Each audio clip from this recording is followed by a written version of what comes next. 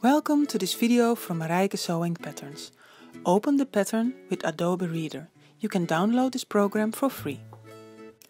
Click at the left on the icon of the layers to open the size menu bar. Click on the eyes to select or deselect a size. Always keep the eye with the info and A4 layout selected. It is important that you only print the first page first. Make sure you choose actual size and auto orientation. Measure the control box. If this is 5 by 5 cm, you can print the rest of the pattern. Otherwise, please check your settings again. Stick the sheets together by row, by placing the red lines exactly on top of each other. You can also cut out along the red line, but that gives more work. Stick the sheets together with tape or glue.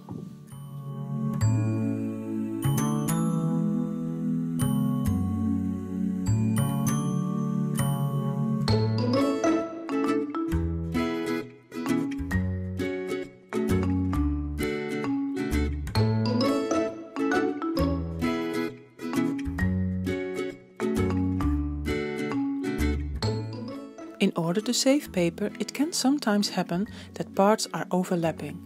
You could trace this with transparent parent drawing paper or cut it out and repair the hole like this.